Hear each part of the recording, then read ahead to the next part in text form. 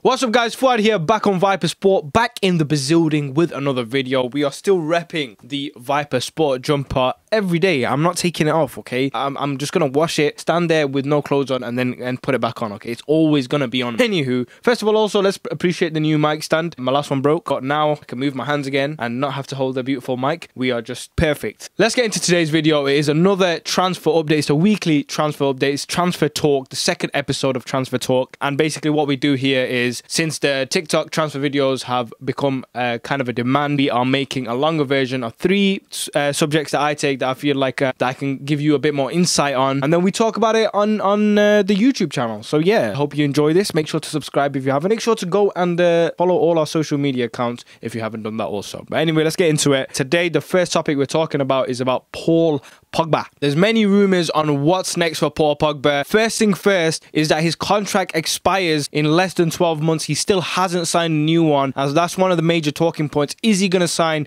or is he going to go to another club? There's been many rumors about Real Madrid wanting him for a very long time now. And yeah, who wouldn't want Paul Pogba in their team? I mean, a prime Paul Pogba is one of the best players around these days. So yeah, there's been many talks about him leaving or maybe signing a new contract. Nothing's been confirmed as of yet. The reason why him leaving was a bit more speculated is because last summer he actually said that he wanted to move and, and try and find a new challenge. The season hasn't been the greatest for him. He's pretty much had like an injury-filled season. But he's come back now and he's trying to help Man United uh, achieve their maximum potential. He helped Man United win another game this week and he scored in that game. And after the match, he was asked what's next for Paul Pogba. He replied with, right now I've been injured for a very long time. I focus on myself to get back and help the team as much as I can. We have two goals to go for the Europa League and the FA Cup. We focus on that. Since we've come back, we've seen him build up a great relationship with Bruno Fernandes, who's recently signed with Manchester United. And that play between the two could actually convince him to stay because they are playing really good football at the moment. But Man United also need money to sign the likes of Jadon Sancho and Dembele they've been talking about as well.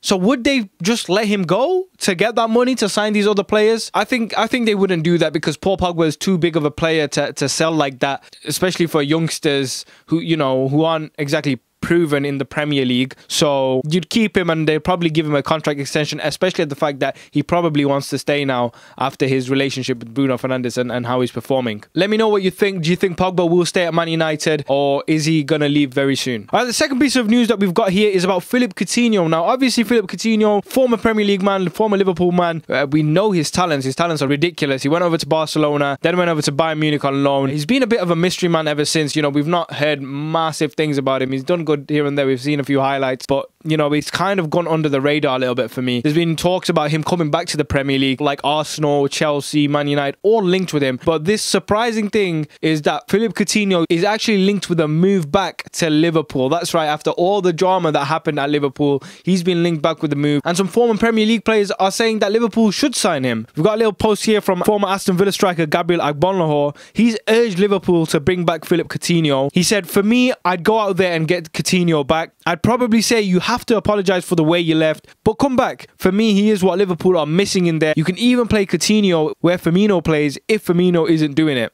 The way Firmino plays, it looks like he's just told by Sadio Mane Mohamed Salah we're having the shots. Yeah, I kind of agree with Agbonlahor there. I think Liverpool, you know, bringing him back, obviously at first it's going to be like a bit of a iffy one because I'm sure a lot of the fans won't be happy in terms of, you know, the way he left. But you have, the fans have to think about the, the whole team as a as a unit because, you know, yeah, granted they won the league this season, they won the Champions League, but, you know, we've seen holes in them. And I mentioned this in a video like two, three videos ago about how Liverpool may not win the title next season. They they could do with someone like Philippe Coutinho coming in and, and, and making some changes into that team because adding Philippe Coutinho to the team they've got now would be brilliant. They need to make some changes um, and it really wouldn't harm them to have him back in the side. Lastly, we're going to talk a little bit about Havertz. I've mentioned a few things on uh, on him on my TikTok. We all kind of know where he stands at the moment. He's been rated at 70 million, but Bayern Leverkusen have put a 90 million pound price tag on him. Chelsea are a bit iffy to pay that. They don't know if it's worth it. They obviously got to buy um, the they're looking at a fullback to buy. They're looking at a goalkeeper to buy. I think they have got the money, unlike other clubs, because they haven't spent in the last transfer window.